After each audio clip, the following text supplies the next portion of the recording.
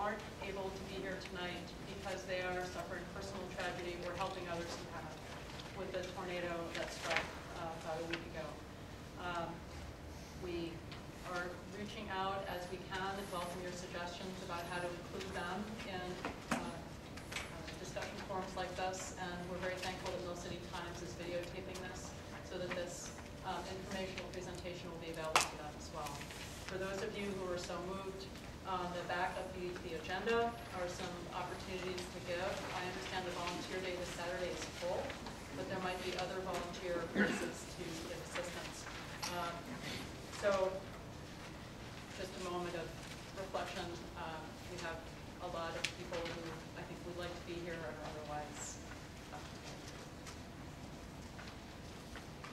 At the back of the room, when you signed in, uh, there's an agenda, an overview of the policy review that Tom and Haila will be doing. And then before you leave, we'd like you to fill out the Upper River Your Turn on the front, comments about uh, the Upper River and plans. And on the back, we are planning outings along the river to increase the sense of place connected to the riverfront. Um, Please offer your ideas, things you'd like to do here, so leave those before you go. And then finally, um, I hope everybody has the handouts, also this wonderful map um, highlighting the Minneapolis Riverfront Development Initiative that Mary will be talking about briefly later. So with no further ado, I'd like to introduce Tom and Haila. These two have been working um, for the past year and a half, um, really addressing, and they'll explain the kind of background and context for this project, but we're very thankful for the uh, in-depth research and integrity with which they're approaching this, um, and their genuine interest in having community members be aware and involved um, as the city reviews how it wants to proceed in the Above Falls area. Um, Diane, just a Wonderful, okay. Um, I understand Diane Hofstede, our city council member from this area, is here. Diane, welcome. Um, And would you like to say hello, introduce yourself, Diane, and then we'll start with Tom and Haila? Sure, I'd love to. Thank you. My apologies for being late. I just want to tell you what happens when there's a bus that jackknifes on um, Hennepin Avenue. It slows you down for about an hour. So I apologize, but I'm really glad that all of you are here today.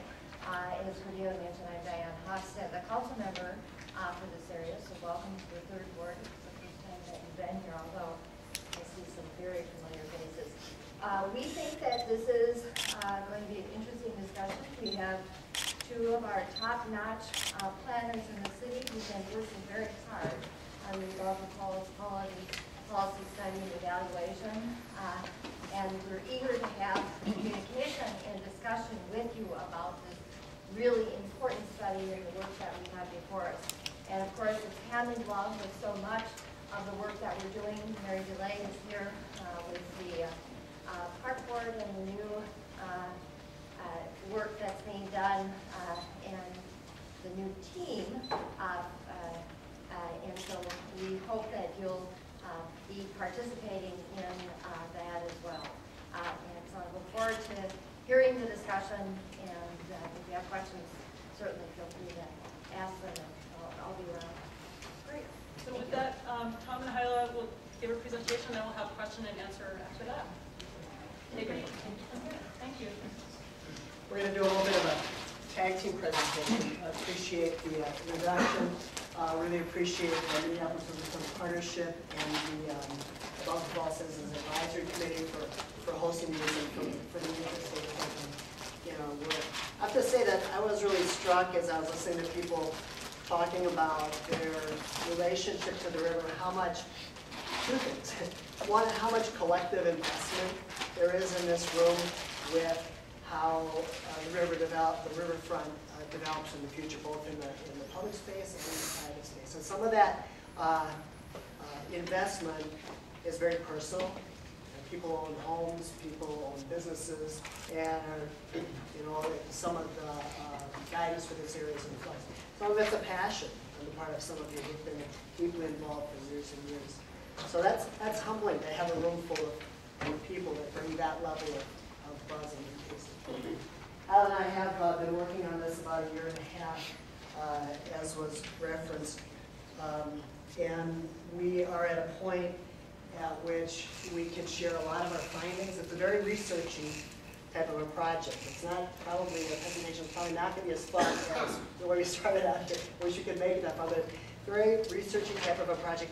Uh, uh, has been pretty quiet, but we've learned a lot of interesting things about uh, what kind of development, um, what are some of the constraints and uh, benefits of different development types for different parts of the Upper Riverfront. That's what we hope to share with you tonight.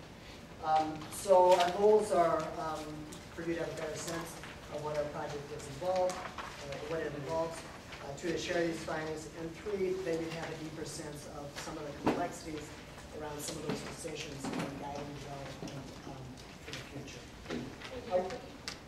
Oh, okay, sure. I want to, um, you can, yeah, sure. I want to uh, give a nod to Tim Griffin. How many of you were at the first of the Upper River Forum series about six weeks ago? Saw Tim Griffin present. He did a wonderful job uh, setting, setting the context for how we want to think about our Upper Riverfront from a historical perspective. And this slide is from his show, references the Grand Excursion. And the next one is from sort of placing this in more of a regional network. So very big picture thinking. Um. But tonight, we're going to be clearly focused right on this stretch of riverfront, and um, we take as our starting point the existing city policy for this area, which is uh, the adopted uh, the falls plan, adopted by both the city council and park board. This is a formal policy guidance for this area, and most of you probably know that it calls for a public edge to the river uh, throughout north and northeast Minneapolis, similar to what we have along the central riverfront and in south Minneapolis. It calls for extending the uh, trail system for both bikes and pedestrians through this area to connect downtown to the ground. And within this area, there would be some, uh, some regional class destination parks that are going to attract people from all over. So that's the vision of the parks frontage. It also, uh. It also has uh, land use recommendations for the kind of development um, that was envisioned that would make sense with this and would make sense for the area in the long run. Uh, There are parts of the upper riverfront that are uh, developed as industrial development that would stay that way over the long run, uh, with the hope that in some cases we'd be able to intensify the jobs that are provided in those areas uh, through new development. There are other parts that are currently industrial or a mix of uses that would transition over a long period of time to new residential neighborhoods. So that's our starting point. Um, uh, Mary referenced 1999 as the adoption date, and now it's 2011, that's 12 years. And a lot has happened, a lot has happened to, um, to implement this plan. Uh, But certain changes in terms of the more ambitious land use changes have not happened at this point. Now, that's not real surprising, they were always envisioning really long-range changes. But the city is at a point where it is, um, it is poised to take some additional steps to further those, those development visions. Um, And uh, the city council has decided that prior to taking uh, more assertive steps in that regard, 12 years later, they want to step back uh, and essentially think about, is all this guidance appropriate still? Is it the best collectively for the city? Uh, And um, is it realistic? Is it? Uh, We would boil down our task, the last was a quote from the city council that was the detail, but we boiled down our task into these three questions. Uh, The first two I just mentioned, and the third is really, um, in the areas where more ambitious change is called for, um, how can we give a sense of more um, predictability, a clearer timeline um, to uh, existing owners, so that that transition can happen in their respects their, um, their investment in those properties. I want to address the question of how um, this project relates to a more visible project that is taking place right now that the Park Board is sponsoring, the Minneapolis Riverfront Development Initiative project. Um, And uh, I think that's created a huge splash and brought a lot of good attention to the river, and generated a lot of excitement, um, starting with the, um, uh, the design competition that the Park Board sponsored. Um, it- But it's also generated some confusion on how does that relate to the work the city council has directed us to do in our plan. And so I've tried to find the most simple way uh, to illustrate that. This slide uh, is the above the falls plans uh, development scenario with the park features highlighted and the private property uh, faded. The next slide is the reverse. The park features are faded, private property is highlighted. Simplest way to think about these two projects is that the former slide uh, that relates to the park features, uh, the park board is interested in updating that grand plan for, for the park system around the Upper Riverfront. And in some cases, it may, in some cases, those park features may end up in different locations, uh, or they may serve different functions. Uh, But that's their primary objective. Can you just please talk to us the borders there, because it's not really clear. Okay, well, so we're essentially looking at this ribbon, uh, more brightly colored park features uh, right along the river, and and it included some other parks within, within the I development. mean, but what are the which cross streets there? We Oh, can't see okay, them. sure. Above his hand. This is Plymouth Avenue, um, West Broadway, you're right on there, Yes. Lowry Avenue, Okay. and up to, I guess, the, the top bridge is the Camden Bridge. So that's our geography. So the, um, uh, Park and Recreation Board is updating that park station, uh, and we are updating guidance related to that development.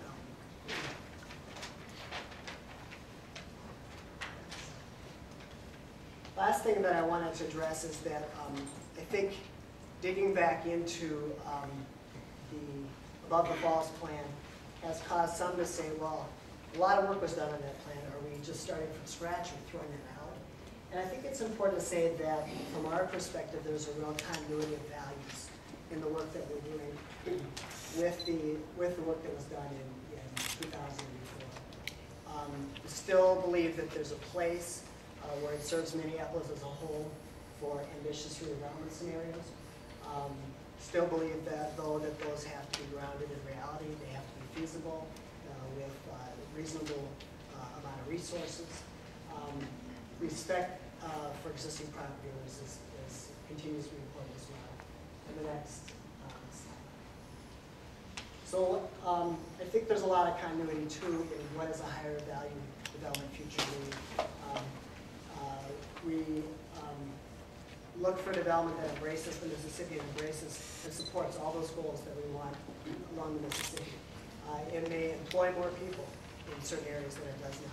It may house more people in certain areas than it does, uh, than it does now. It may improve the, should improve the appearance and the livability of the area, and it should contribute to the sustainability of the area from an environmental perspective. Uh, At this point, I'm going to hand it over to Haila. Sure, great. Um, I, we're gonna talk about, this section is, we had given ourselves the task, we've been given the task by the council to sort of refresh the analysis in the above the falls plan. And our first task was to figure out what exactly that meant, what, what was sort of on our plate, what were the areas that really needed a closer look. So what I'm gonna go over now is sort of the, the range of things that we covered. It's, it's too much information to tell everything about everything, but I want to give you a, a basic overview, and then we'll go a bit more in depth when it comes to sort of what that means for development futures and the feasibility of development. Um, the first topic up here is the land. Um, this may seem like an obvious thing, well, there's dirt, there's, there's river, what more do you need to know? Um, this is a topic that on, on the big picture doesn't matter as much, but when you get down to specific site, it matters a great deal. Um, we want to make sure that our analysis takes into account that a site, just because a site looks good from an area perspective, the slopes, the soils, the geotechnics can make it um, a good site for development or a site that's almost impossible. Where we have frankly not finished all that development um, analysis because we are going to be drilling down smaller areas. And that's the type of analysis you, you do more on a site-by-site basis rather than as a whole. We do know there's some areas with some slopes that are going to make them more challenging. Some areas where the topography just makes it a little more difficult. And of course, the floodplains. Those are part of the analysis and part of something how we take into account what can be built out. Utility infrastructure. Uh, Always a question is, do we have the utilities to serve the area? The answer is yes, pretty much we do. Um, It's a bigger question than that. Um, Actually, you may not be able to tell very well from this graphic, but there, but the utilities have been developed over time, mainline, water, sewer, electricity, natural gas, as a linear connection along both sides of the river, basically reflecting the heritage of this area as, as an intense amount of development that uses a lot of water, um, electricity, and power. We are investigating and understanding utilities, understanding that some futures suggest that those would have to be relocated, and really getting a sense of what the capacity is and what improvements are needed. That is part of the picture in terms of setting the stage for development and making sure that we're prepared for it. So. The, um, the research agenda focused on economic analysis. We spent a bit more time on that, and, and Tom's going to go into in more depth later, so I'll I'll just skim over it now. This is uh, refreshing some analysis that was done in the original plan too, in terms of what was the, what are the market conditions now, what is the competitiveness of this area relative to other areas in the region. And essentially, if you think about there's a certain amount of demand, we have to compete against other sites to attract it, and it has to be attractive enough that a developer wants to build here. And understanding the financial feasibility doesn't make sense as a pencil out if someone wants to build something. And the fiscal impact from the public sector perspective, what's our gain to the tax base? So we, we did some analysis of that and got some sense of what it is. And again, Tom's going to go into that in a little more depth later. But suffice to say, it's, um, we're refreshing it. And I should say, when we're talking about the market, the first thing people will say is, well, everyone knows the market right now. It's terrible for everything. And yes, that is true. Um, our market forecast is reflecting a slightly farther out future where we're, we're going to assume that the foreclosures are somewhat dried up and, and we don't have quite the same vacancy levels. It's, a, it's, it's current market a little, we're not just going to go with the obvious assumption that everything's crappy right now, so nothing's going to be built. That's, that's, that's going to improve, and we know it's going to improve. Um, we spent a lot of time looking at the employment and business mix in this area, and, um, and, and that's because, of course, that's what the existing conditions are. And considering the mix and diversity and density and history of business development in this area, we thought it, it afforded a closer look and understanding what's out there now, why is it there now, there's good reasons and, and what does that mean for the future. We did a, a sector analysis that looked at the type of businesses that are out there and the sort of patterns. It's not, it's not random, there's a lot of trends in what we see. Understanding where they're distributed and where they're located. Um, understanding the industrial land, what is on our sites, not just here but elsewhere um, that you think, well, there's buildings and then there's parking lots and there's storage. Um, that's basically all our industrial land has something on it. There's very little just that's just plain grass. So we have some a sense, a better sense of what our inventory of industrial land is and how it's being used. Employee origins, understanding where people live who work here, and actually the business survey, which is more substantial than all of these. Um, uh, where um, that's where Rebecca and Andy are our partners in business development. Right there, this is in Manhattan, and are, are um, have been very actively involved in the business survey work. And some of you who are businesses may have um, that been involved in that. If not, they, they'd probably love to talk to you. Um, we had a, a survey that went out, and we got about 50 responses, which is pretty good. Uh, understanding why people are here, what they like about the area, what they don't like, their plans for the future. That information is being summarized, of course, protecting the identity of the individual respondents, but used as information for planning for the future. And that was also included with a number of one-on-one visits to sites to sort of get more, more in-depth, more discussion in terms of not just where, where they are, but also from the city's perspective, how, how can we assist you, if there's ways we can assist you, and how can we work with you. So understanding the history, understanding the, who's going, who's here and why they're here. Freight infrastructure and economics. Um, there's a great deal of freight infrastructure here.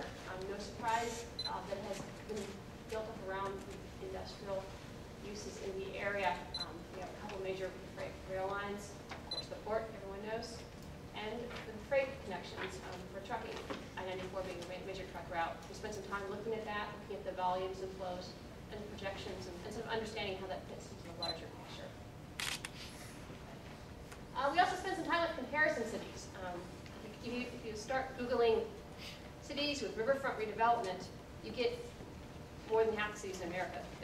Most major cities have some water and at some point have decided they need to think about difference on that. We spent some time sort of whittling down what are good comparisons, looking at progressive cities with vision like ours, looking at um, older Midwestern cities with a street network like ours.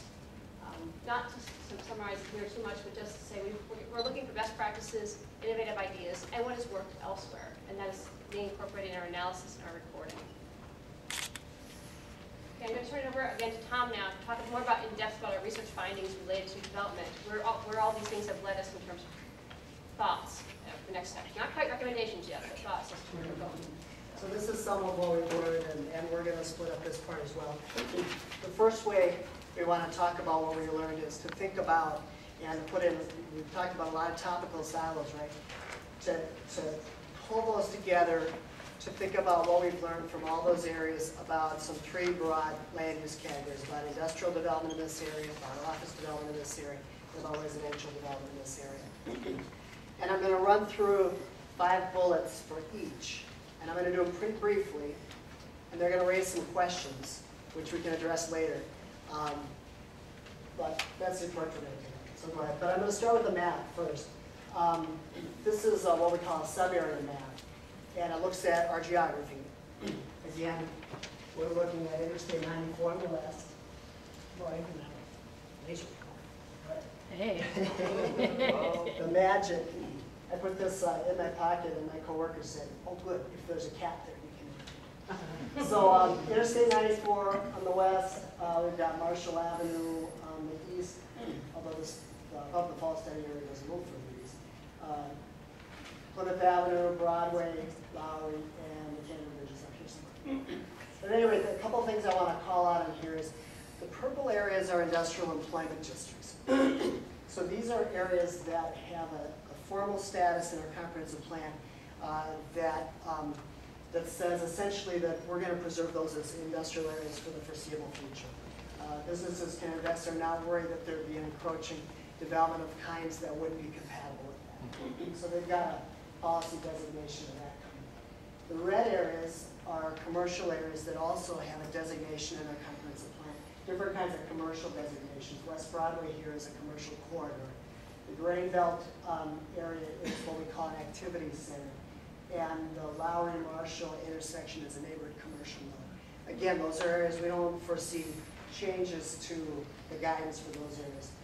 The rest of the areas are in this uh, funny green color. And um, those are areas that, in a sense, probably then are a little more um, potentially fluid, certainly more the subject of our go ahead. So we're going to talk about industrial development first. And just again, I, as I said, talk through five indicators and then look at a map um, for industrial locations, stronger, strongest industrial locations. So the first is uh, regional forecast. The industrial sector is, is not expected to grow strongly in the next 10 years, a 2% growth in, of industrial space in a 10-year period. Now, having said that, this particular area along the riverfront has a lot of strong characteristics for industrial and is pretty competitive um, with other industrial areas around the region and in the city. It's got great access to the interstate, a lot of big parcels, uh, um, affordable older spaces that may not be what they're building today, but are pretty serviceable for a lot of businesses. Now for these, I have to uh, say, tell you that um, our economic consultants modeled some specific uh, development types that are industrial, that are residential, that are, that are office developments, so that they could actually um, analyze the costs of building that. These are models that are present in Minneapolis, so pattern them after developments in Minneapolis. Actually model the cost of building those in today's cost, and what the value of those would be for a developer uh, after it was built. So that you could look at, uh, does it work for a developer? Can they get a return out of it? Because if, if they can't, then, um, then you're not going to attract development to this area. And of course, none of them can right now. None of them worked right now because otherwise people would be building, but some of them came closer than others to working for a developer. Secondly, they use the same model to look at um, with the value increase on that property, with that new development, um, there's an increase in tax base, but there's um, also oftentimes an increase in service costs because the city, uh, from a city perspective, uh, we supply services to our residents and our, and our workers. So the fiscal impact is how does it work out for the city from a financial perspective? There are other important perspectives here, but from a tax-based perspective. Um, and then the third category is, and we haven't quantified this one yet, it's an important part of our remaining research. We know that for some, particularly of the more ambitious development scenarios, there's a fair amount of investment that needs to happen in an area to even attract developer interest. so that they know they're not going to be building an isolated development in an area that's not suitable for that.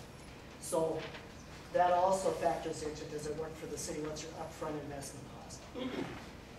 So, for industrial development, um, the, um, it doesn't work very well currently for, um, for a developer. The return, uh, because there's so much vacant space out there, the return on a new industrial development wouldn't, um, doesn't come very close to uh, accommodating the costs. Uh, It also uh, doesn't add appreciably to the city's tax base currently with the value of the development that you would be able to build.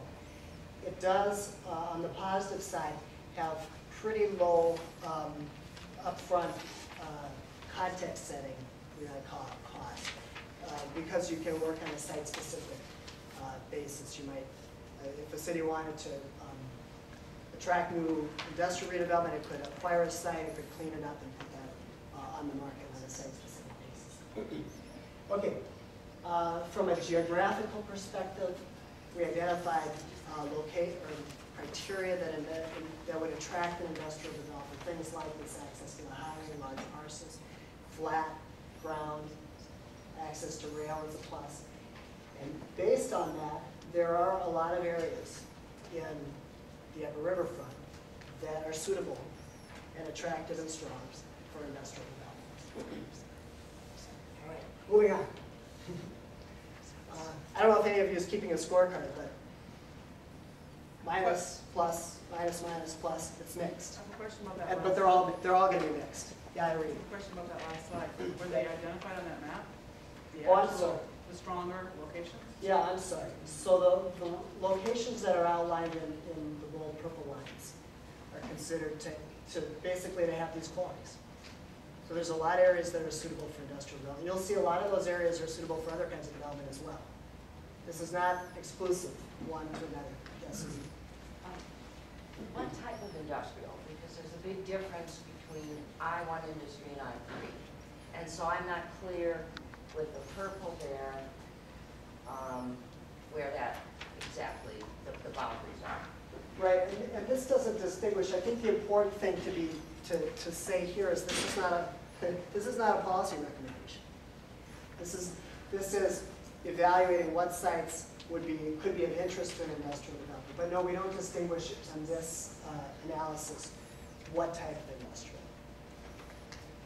Yeah, this is a good test. I will point out, as long as we're back to the slide, that there's an area of uh, omission here that's uh, got pretty steep grades that probably, this between uh, Lowry and Dowling, that probably would not be of of primary interest to a new industrial development. All right, office development. The, the forecast for growth in office space is stronger here, eleven percent growth over ten years. In our analysis of some areas, um, in our analysis of the competitiveness of this area, we think that um, some parts of the upper riverfront could be competitive with an outside of downtown, other outside of downtown office cluster areas. Uh, It could be an area that might be similar to a Best Buy headquarters area or, or like Wells Fargo home mortgage uh, campus because it has a lot of characteristics that, um, that these businesses. Next. All right, the gap to, what's the best way to say this? It works a little better for developers, uh, according to our model, uh, for an office developer than it would for an industrial developer. There's a gap in meeting your costs, but it's smaller. There, there may be a fiscal return uh, to the city. It looks like there could be a fiscal return to the city in doing this type of development, depending on a lot of things, depending on density of the development and other factors. It looks like, our model showed a modest uh, uh, improvement to the tax base uh, by this kind of redevelopment. And uh, finally, we do think to be attractive to, you know, Medtronic coming and setting up a uh, headquarters here, there is some upfront public investment that would be helpful to attract that kind of development. So we are looking at some front-end public investment for this kind of development. All right. Are people mostly following this, or am I losing everyone?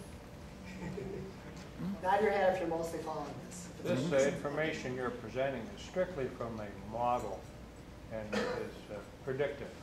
It's strictly from a financial model based in the current time. Time is gonna change these things too.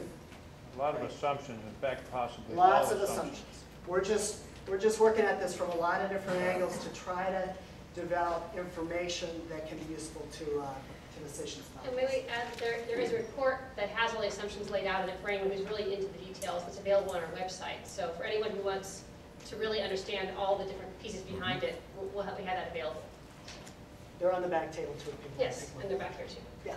If you're involved in this green area now, what, is- what, are you to assume that we're not in the long-term plan, or we are, or are you- is every, everything that's in the green area gonna change? Well, remember that everything in the green area has development guidance, has policy associated with, right, with it right now. Right. And, and big parts of it are proposed to change. Uh, we haven't recommended any different guidance to this point in time. How do you reconcile the existing businesses that are in the green area That's what I'm asking. versus the theoretical ones in the purple? Um, We're sitting in the green area, and I guess I'm just wondering. Right, what's that- right. What's The- that mean? The, the biggest difference today between the green areas and the purple areas, if- if you're looking at, for instance, this, is that, um, the policy guidance for, this is existing policy guidance, it's not, it's not any changes that we're looking at. The existing policy guidance for the purple area is for it to stay industrial. And the existing policy guidance for the green area is it for, for it to be redeveloped to residential in the future. That may change, the city council could change some of those recommendations, but those are the, that's the existing policy guidance for that area.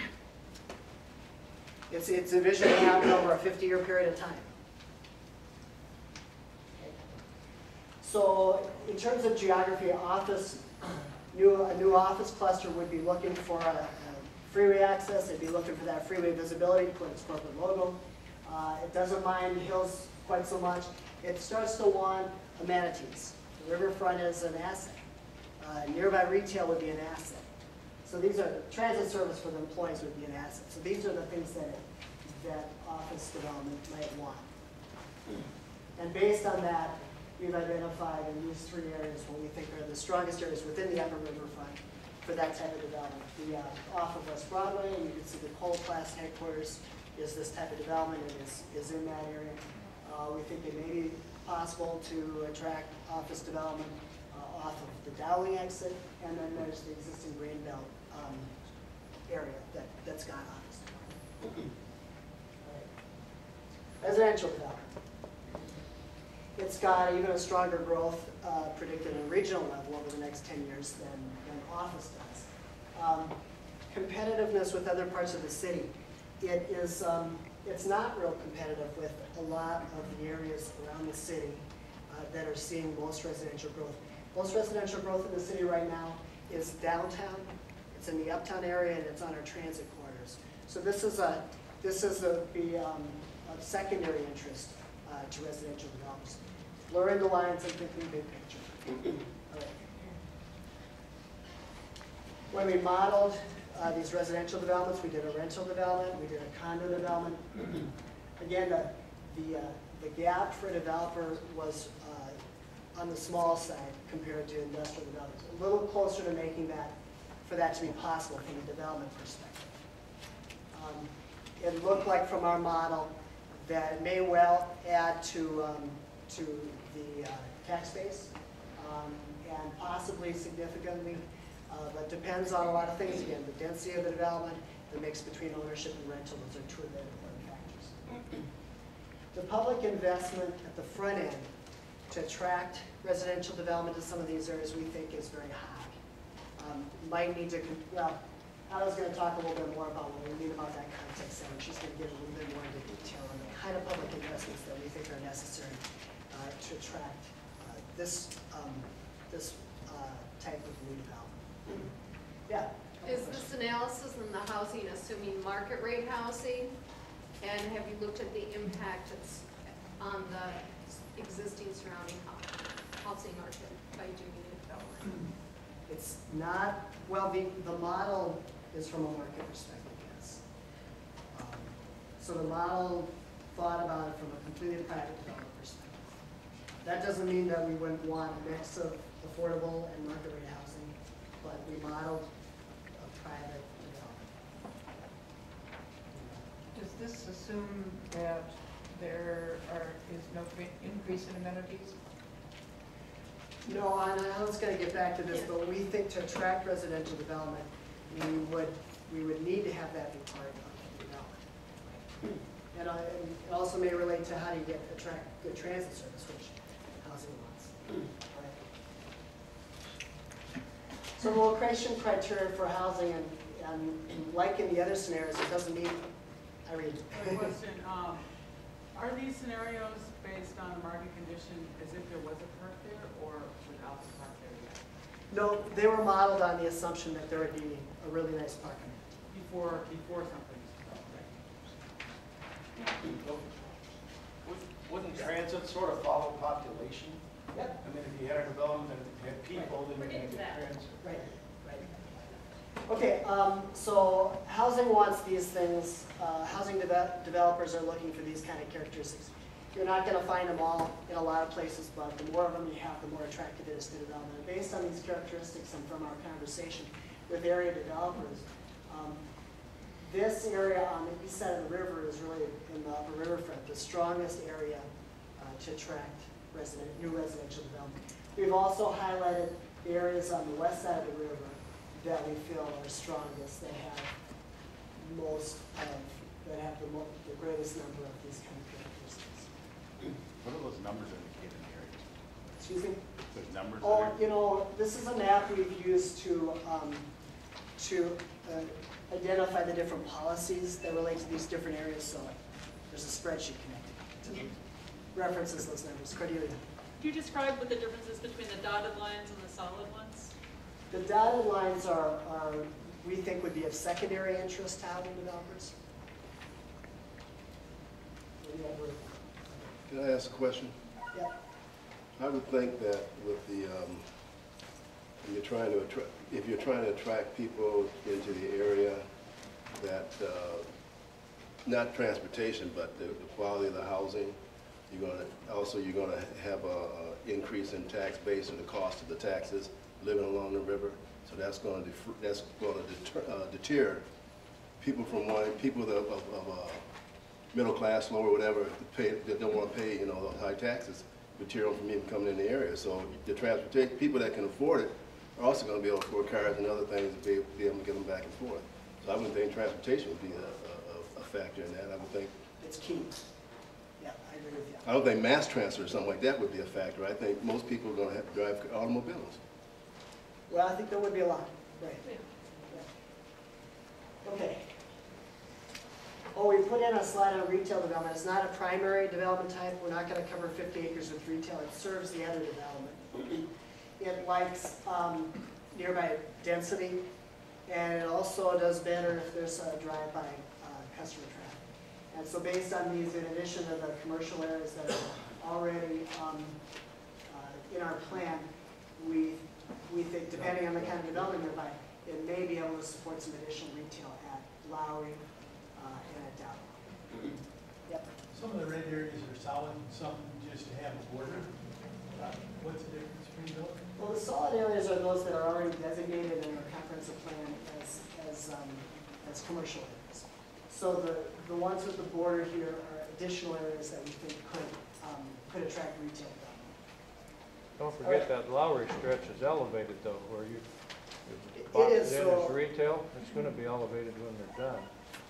That's So we the- gotta think more three-dimensionally. That could be true. We could have our own skyway. It could be true. So maybe that should be drawn from the railroad tracks on back, not all the way to the river. Good point. All right, I'm gonna hand it back to Haila, uh, who's gonna talk about some other elements of our research projects. Uh, Sure. Okay, so fun. Wait a second. Okay, um, this is, I think we've actually covered a number of these because all you bright people are anticipating all the issues we're trying to, trying to juggle in, in doing this analysis. Um, the first, so talk about this context, this idea of context setting. This is something we heard very strongly from the development community, that if you're expecting a developer, expecting a, uh, a resident, especially when who's buying something, or a business, especially someone who's building their own facility, not just renting, um, to invest in an area, they want to have some certainty that their, their neighborhood is, is a well-tended area, has amenities, has things people want. Um, and some uses, especially residential, need more of that than others. If you're talking about someone buying a, a urban condo, the expectation is that they can walk to a coffee shop or a restaurant, a nice park, maybe this, some good schools in the area. There's, there's some certain things that come along with a package deal that make an area attractive. Um, and that, and, and transit service, of course, is one of those as well. And if you look at this plan for the transit network, which again, maybe you can't all see, but the upper riverfront is sort of bracketed by high-frequency transit routes, but not really had one itself. Of course, you're talking a chicken egg situation here. You, you don't have transit until you have people who ride it. But again, that's something we need to think about in terms of how um, this is moving forward. Indeed, of course, um, you can't have business uh, that there aren't customers. So again, some of these things follow and some of these things lead. But again, when we're talking about competitiveness of the area, we have to think about the package deal that someone's buying into when they move there.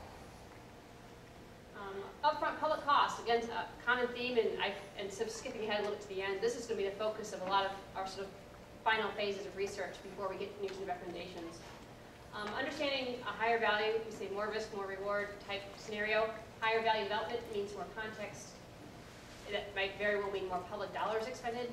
And a lot of our focus could be on saying, if we have a future we want, what is the fiscal path to making that happen? We can't just assume money will drop out of the sky. What are, what are the financial tools? How much needs to be expended? Where is the logical places to start with that? And how do you make these investments? We have a wonderful example and a leader in the park board who's already sort of out there looking towards that. Um, on the city, on the other city side, on the public side, we're thinking about these other types of things. We're talking about sites that are too small for development to be, assembled. There's environmental cleanup costs associated with everything. Uh, we, we understand the street and utility infrastructure in some areas, even if it's, if it's present and decent, it's a bit shabby and not very inspiring. There's expenses that need to be taken into account, we're certainly to be addressing that in our analysis other considerations, just a quick one, and this is uh, kind of on the obvious side, but just understanding that sometimes higher density development is needed to support that. Um, we have an example of the residential high-rise versus a single-family home. It's a very easy one to understand. But even on the industrial side, you build something that's just a warehouse that employs three people and stores big piles of nothing, it might not, well, of merchandise, it might not be a very dense use and a very low cost per square foot. And again, not really viable in area when you talk about new construction. So talking about a use that's more intensive, more high value, is um, maybe what makes the difference between whether a project works versus doesn't work, um, especially building new. And I should say, all these scenarios are talking about new development. There are, exist, of course, existing examples of everything, and they have their own economic models. This is assuming that you're building something brand new as opposed to just rehabbing. Of course, it's a different story entirely in terms of how that. Um, timing and phasing, this is a very key thing when talking about an, um, a 50-year plan. Obviously, we're not suggesting, you, whatever a 50-year vision is, we can't suggest that we're just going to sit around and wait 50 years till something happens. There has to be steps to get us there in terms of investment, and in terms of thinking, even if areas transitioning, something's there in the meantime, and that something could be a very productive, useful in. That is going to be a part of it, and the, and the time dimension is a key part of our recommendations that we need to pull together. And so, as we talked about earlier, some uses could happen incrementally in the short term. Some are going to take a little bit longer to set the stage for them. Park development, we keep mentioning this, but it's, it's worth repeating, um, that new park development is a catalyst. We think it's probably, probably one of the major catalysts for um, inspiring people to think about the riverfront in a different way and think of investing in higher value features, um, whatever that means.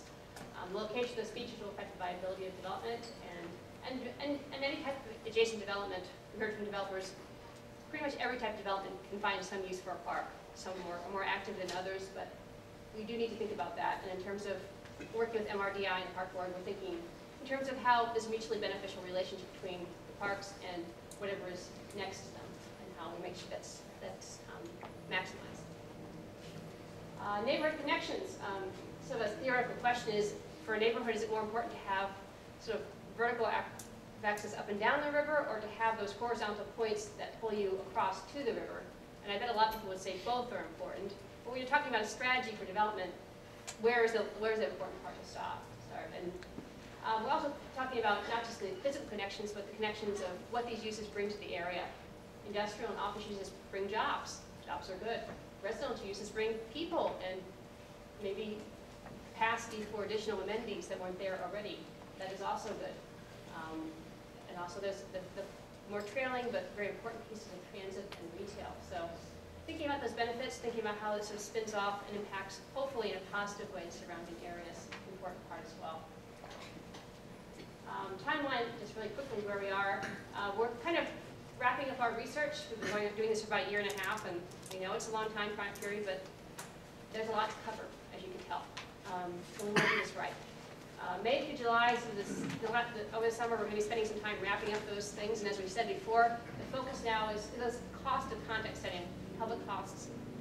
Maybe not all public, maybe some are private, that are associated with um, setting the stage for development futures, making people who can invest money in development, whatever that development is, feel comfortable that this is a place that is a good, a good place to um, do what they're- what they do. Um, We can't do it all alone, we have to work with the private sector, but we want to make sure that we're setting the appropriate framework, and that we have a path forward. Um, Next, we have a series of public meetings late summer. We'll make sure that everyone here, please sign in. We want to make sure that everyone gets an invite to those meetings so that they can respond and hear about them. And, and aiming towards September, we're going to talk about recommendations to the city council. That's actually getting to the point where we're saying, okay, these are the changes we recommend you think about before go the falls plan. The council still can make, their- they're going to make their own decision. They, they can listen to us or not. We're going to be making these recommendations at that point. What tweaks are needed to the plan? Assuming there are some, they could say no. Um, And before we go to the next phase of implementation, which says, now what? Now what is the next step we take? And we want to make sure the city has, city council again, has the recommendations, plus the thought of, if you are adopting this, this is a plan to move forward, um, and to make sure that we're moving in that direction in a positive sense. So that's our timeframe for right now. Just some questions up here for discussion. I I think you folks would also think of some good questions on your own, you already have, so I just want to leave these up here for your perusal. Um, Just what, what what do you think are your priorities for the area? Are you, you think about density? Um, What do you think about the timeline? And I think almost more, most importantly, what, what should happen now? Um, If you were king or queen for a day, what is, what is, what do you see as important priorities now? And Cordelia, are you taking notes on? I am taking notes, and this would be a great time in terms of your presentation and getting hands raised in terms of where you are.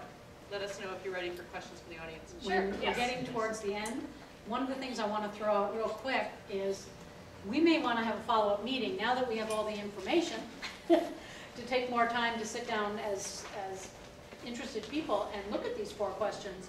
So we don't have to answer all these today, we can have another meeting, and maybe Haila and uh, Tom would join us to think about some of this and think about these questions. So I just want to frame it that we don't have a lot of time left today. But with that said, Oh, okay. So David, you raised their hand first? It was over here. Okay. I just want to pose an additional question. Yeah. It seems like a lot of this is the chicken or the egg issue. There's a maximum, if you build it, they will come. I don't think in this economic economy, you're gonna pull that one off. If you don't build it right, they won't come.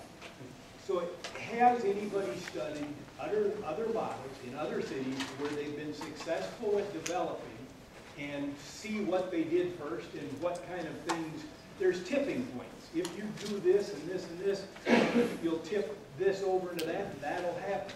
Has anybody studied the tipping points of the other developments in other cities that have been successful and have done this on a large scale and developed a model that seems to work better? It, just in terms of figuring out, because you're asking, you're, you've got all the right questions, but there, this has been done, it's been figured out, there's better, there's best practices, and I don't hear that question being studied. So the city council is very interested in that question as well. And it, and it is part of our scope um, and part of our next step, not just to quantify the cost of setting the stage for new development, but also to look at the development tools that are required for that and some strategies, and to think about, are those strategies that we currently have available to us? And if not, you know, how will we adjust them? You know, I see all this future stuff, and what I don't see uh, addressed here is the people that are here now, the businesses that are here now. people have been paying taxes for twenty-five years, see them going up for twenty-five years. You know, we're, we're trying to plan our futures too, and I got 24, 25 families that depend on having this business operational, and I don't see that addressed at all. I feel like we are addressing that to the extent of, it's- maybe. Well, what I see is that you're saying that we're not gonna be in the long-term plan, that's, like- that's what you showed me. on the We have, that's, we're not, you're not in the long-term plan right now. This is the opportunity, we're evaluating the feasibility of the long-term plan and also thinking about what's happening in the meantime. We have actually spent a fair amount of time sort of trying to get a sense of what's out there now and the value that area brings. And I would say that we know that there's been businesses here that that have been here for, in some form or fashion, for close to a century. So there's a great deal of investment in this area. We want to acknowledge and honor that and know that that's not going anywhere tomorrow, and that nobody has the money to buy out all the inventory that's here, here right now anyway. So we, we, I, maybe No, but I it's. think what's we gotta be highlighted addressed right here. are we gonna fit in there long-term? That's, and nobody's coming to ask me anything. I'm there every day, nobody's ever talked to me. Councilmember Hofstede wants to comment. Well, I think, uh, sir, you have one of the, um, one of the nicest properties along the riverfront, taking good care of it for the last um, very many years. And um, those are the kinds of businesses that we, we want to keep uh, in the area. So we're not, this plan um, uh, is not about getting rid of businesses. It's about uh, looking at relationships between businesses as uh, this plan evolves. And so that, your, your uh, comment is extremely valuable. But I think it's important to know uh, that it's not about getting rid of the businesses that are there. No, I'm Um, not, I'm not saying that, I'm saying we included a plan? That's all I'm worried about. I- I'm not saying anybody can come and tell us tomorrow, but, you know, I'm, I'm ready to pass some business on to the next generation. I gotta make some decisions here. You know, do I do it here, do I do it in another city, or what, what do I do? Well, Two things I would say is where there are transitions, um, the assumption would be that businesses, property owners, um, are, that are acquired for transition have to be given, um, have to be, their land has to be purchased at a price that they're willing to take. That's one assumption. Um, We don't, the city can't condemn property for redevelopment. So it's all gotta be willing sellers. And the second is when you, when you look at long-range transitions, and this is tricky, but you do have the opportunity to be patient and wait till businesses maybe at a point in their life cycle where someone wants to get out of business or where they're ready to expand and move anyway. So some of that can happen. We've been here ninety years, so I don't think we're. Yeah, we've been there over seventy-five years. so, uh, Yeah. you We don't mix too well with uh, residential development close by. And we, and that's, and definitely part of our, the features, we're not, any development scenario which involves sort of helter-skelter development here and there is, is not going to be very strong for any type of use. It's- it's- And that's, it, we're at, again, we're at a point, we're not actually making recommendations, so everything you say here is informing what we're doing next, but we we are glad to hear. Another issue to look at, I think, is what is the highest and best use of the land? And does the business have to be on the river? And could the business be somewhere else? Because you can't have a riverfront trail and green space anywhere else. It has to be on the river. And to respect our river, the green space and the public space needs to be on the river. So that's, that's part of it, is could the business move somewhere else and me- maybe even be in a better spot? So it's not, again, getting rid of business or anti-business. We all want jobs, we all want Well, healthy. I noticed this business went off the, uh, this building here went off the tax rolls and turned into a city. They got a pretty nice view for a city operation here. And that was taken off the tax rolls at forty or fifty thousand dollars a year this building was paying. Which is another issue. Right. So, What we're talking I about- guess, I guess if I go, I hope this building goes too and there's residential here, is what I'm saying. They Good weren't, point. they weren't paying taxes somewhere else before they weren't paying taxes here. I understand, but you took this building out We the had tax a, roll. we had a question here. I, I realize it's a really complicated process and, that- and, and there are a lot of different moving pieces in all of this. Just from a process standpoint, I'm curious, have you factored into your assumptions um, what the potential impact is at various points in time for um, further recession, economic recession? I'd have to say no. That in a long-term plan like this, we assume that there's gonna be business cycles that come and go. Yeah, the, the, the market analysis is sort of an average over time. At any given point, it's probably wrong, but over a twenty-year period, up and down, it'll, the idea is it'll average out. so. couple questions Well, I'll make my kind of broken record comment that I make at every one of these meetings. There's no realization when you go through any of this that you have anything to do with the river. There is no point where the river is ever used. There's no point where you do anything except look at it. It Might as well be a valley, might as well be a highway, or, or anything else. And the principal thing that a river has in it is water.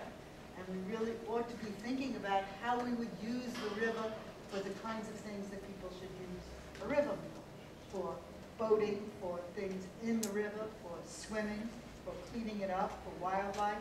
The only people who've ever, the uh, TLS plan at least seems to contemplate that they are dealing with the river. And So that's again, uh, my complaint. I think you can go through, through everything that was written here today, there's nothing that implies that you're doing anything with the river except looking at it. Over here? Uh, Yeah, two points. Number one, um, I certainly perceive from your presentation that it's, to me at least, my own personal opinion, it's not business friendly. So I don't know if that's the way you intended or not, but uh, I'm concerned that you didn't account for the business industry on the river. Number two, uh, is this presentation available on your website or can it be handed out? Can we? It will be shortly, yes. Okay, That- I'd like to talk in what, weeks, days? How about When tomorrow? will be Uh, available? tomorrow. How about tomorrow? That's good, that's That's pretty good. It's easy enough. The reports, the reports that it's based on are on the website of And wh- And what, what is that web address? Excuse me? What is the web address for that? We'll write it down. Okay. There we go. Oh, there it is. Um, I'm gonna go back to one of your slides it talked it does show the industry continuing, I think on the other side of the tracks, and says that it will be buffered from the residential, Um, correct? This one? Um, Buffered from residential use, which, um, from my neighborhood, which you showed on your slide, currently that is not. So I'm assuming, should this plan go forward, that there would be a buffer. That would be question number one. And number two, as far as the tax base, somebody was talking about taxes. I know that our little tiny neighborhood there, which is so small you can't even see it, um, in 2007, that dot, paid about a quarter million in property taxes. So, to me, that sounds like a huge, maybe that's just a lot of money to me, but it's a lot of money for that small space of land in property taxes in the city. It is. Um, I don't know how to address your, I didn't quite understand your, your But question. it says that access, that, you know, there's still gonna be the industry there, and there's going to be buffers from residential use. But Right this now, isn't- our residential use is not buffered from the heavy industry. Right, and this is, um, this is not a scenario that we're recommending. These are the outlined, areas are areas that we think are suitable for industry based on these criteria. Okay. So They're the good candidates, if there was no, imagine a world where there was no development guidance. This land would be good candidates for locating a business based on these criteria. yeah, So that's why some of the maps showed some of the same areas, good for other purposes as well. different types of business. But what she's So, saying but- is it's. But in the buffering, um, industries do like locations that are not immediately adjacent to residential properties. Like ours. Just as, right, Yeah. just as residential, um, development wants to locate where it's not immediately adjacent to industry. Tom, I'm just gonna do a time Yeah, check should. here. Um, we said we'd be done at six thirty. Are you guys all right staying a few more minutes? We or- can stay a few more minutes. or we Okay, can, so um, we're gonna go ahead. Sorry, we're going over time, but this isn't school, so if you need to leave, just go ahead. Well, You know, and let's face it, we, we brought out a tremendous amount of research, gave you the top layer, didn't have time to, to, you know, to show the world the work that went into it. So it's basically like a lot of provocative statements Yeah, that's gonna hit a lot of people wrong in different ways. we need an advanced course. That's what, I think we need a follow-up. And I just want to check in, we plan these Upper River forums monthly um, through the summer, which is a tough time to have public meetings like this, but this is a big deal. This is, will shape the future of the riverfront. The next uh, community meeting is led by the Minneapolis Riverfront Development Initiative on June 22nd. Put that on your calendars because that's looking at the park development. Would people be interested in convening again to have a similar and more discussion in July? Raise your hand if you'd like to, if you think this would be helpful to come back. Why don't we just say that right now? And it was July 28th, I believe, was our Towards the date. end of the month. So July 28th, we'll send out a notice. And does that work for your Can you guys timeline make it? too, at the end of Uh, July? I can, I'd be happy to if I can. Okay. So, Allotting more time, Add questions that we don't get to today? allotting more time for Q and A in the next We'd meeting? be happy Yes, to there'll be come on less and talk to you presentation. more in depth, any group that would be interested. and there are comment We'll sheets. keep you posted. Okay, before, before people go, there are comment sheets each of you have received. Please use those and turn them in. And for those of you who would like to stay, we are going to stay and have more discussion here. So for another 15 minutes. We'll minutes. go past seven.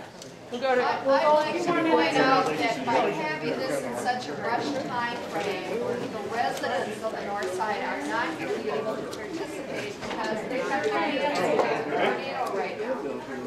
And so if you're looking at major changes to land use on the north side, you're excluding a whole lot of people from the discussion right now. And perhaps there needs to be some amendment to time. For those of you who are choosing to stay, to leave, please be quiet so that the discussion can continue for those who want to stay for discussion. There was a point made about not rushing this review process, since some people on North Side are not available. Any other questions? Tom? I just raised, I think in this discussion is, uh, one is, I must uh, commend the Above the Falls plan. It's a good plan, a lot of sound information there. But I think we need to back up when you take a look at whether this is sound, makes sound economic sense, whether uh, particular uh, individuals uh, or. Go ahead, go ahead. Yeah, No problem. Look at what has happened. Historically, not just uh, here, but throughout the country, we have tended to uh, make decisions that have negatively impacted communities along the river. We've polluted it, we've dumped raw sewage in, we've done a number of things that have negatively impacted the, the neighborhoods surrounding those uh, rivers and waterways. In what we've tried to do, I mean, again, collectively as a country, is look back now, because what happened then, because we so negatively impacted those areas, those neighborhoods, is that the residential and other attractive uh, uh, elements moved away from the river because it was so heavily polluted, it was so heavily impacted. And now we've had the opportunity with some time and experience to look back and say, wait a minute, we can change this, we can clean up. For example, uh, the state of Minnesota has uh, uh, funded and the communities have funded the sewer separation project. Tens of millions of dollars to clean up. Now we have a, a very clean uh, river. There are programs, for example, like the Critical Areas Act, which the state provided to designate this area protected. There's- It's a national park now. There's a number of things that have been put in place in the plan, and I guess uh, then you really get into how can you maximize the value for the community, the broader neighborhood, the broader society, and how does that make the most sense? And I think picking up on uh, what is said before, is it's the water, it's the amenities along the water, and when you look at your development scenarios, is what you can attract to it.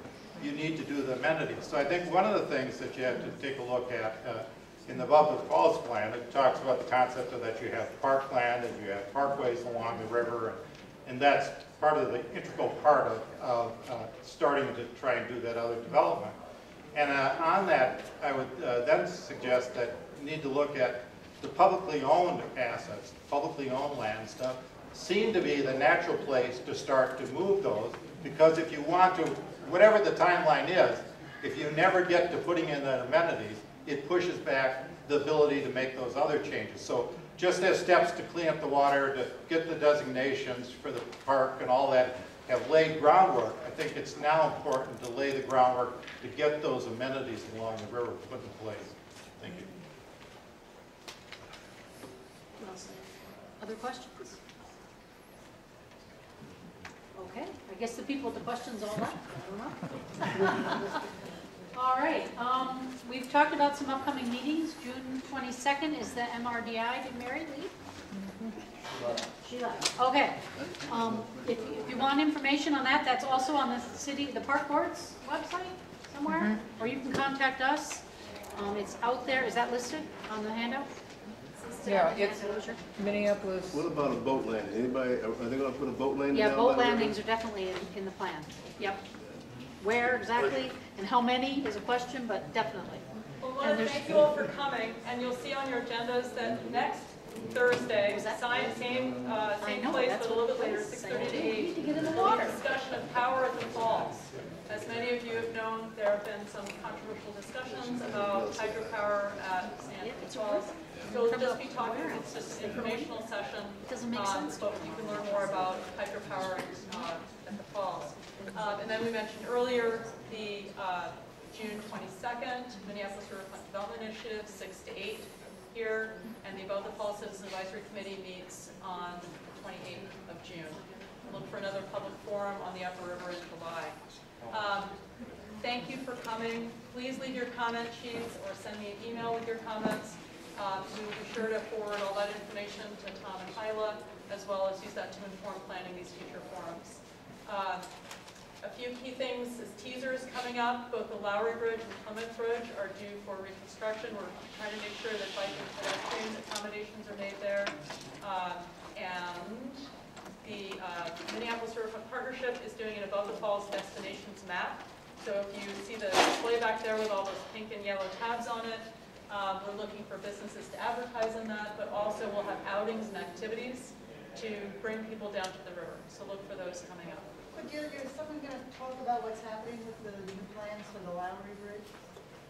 Um, we're- It's in flux. Um, There's some challenges getting, Flux the wrong way. yeah.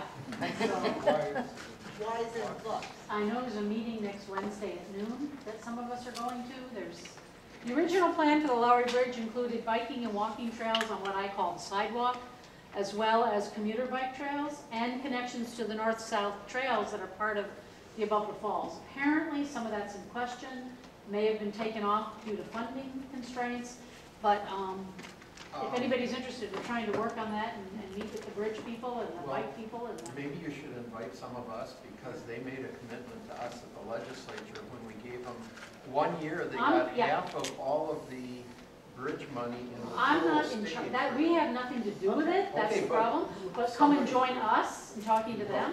Don't worry, don't worry. Um, I begged my way onto a meeting for next Wednesday. It's- We can't even get the information, they're not calling us back. They, I was on the uh, Citizens Advisory Committee for the Lowry Bridge, and they changed it after the, the bridge, after we met. So we, we don't know what the information is, that's Who is part of the problem. Hennepin County, the bridge builders. Um, So it's very confusing. And so some of this may, it's confusing, is, is what's going on. But the rumors are that um, things have been eliminated due to funding cuts. Oh, why don't you eliminate, uh, um, auto traffic? How There would you you- go. how would you- There you go. So if you have more questions about Hennepin County's bridge, uh, Mark Stenglein is the county commissioner for the area. Um, Mary is the co-facilitator of the Above the Falls Citizens Advisory Committee, and they did discuss this and figured out, okay, is there something we can do to help? And like I said, we're going to a bike meeting with Hennepin County on Wednesday at noon. Anybody's welcome to join us. At that point, we'll know a little more, we'll have some drawings, and we can involve you, and, uh, and I want to talk to you, don't leave yet. I would suggest you contact Jim Grube or Robert Byers, B-Y-E-R-S. And their staff for Hennepin County. Okay. I see a few more hands going up, but I want to make sure people can know that they can go if they need to, but. I was just yeah, gonna say one quick announcement. Yeah. If, if anybody, if anybody hasn't been by the falls recently, you should stop down there. It's pretty spectacular. Which one? St. Anthony Falls. Yeah, Minnehaha Falls is too, but thank you again for coming.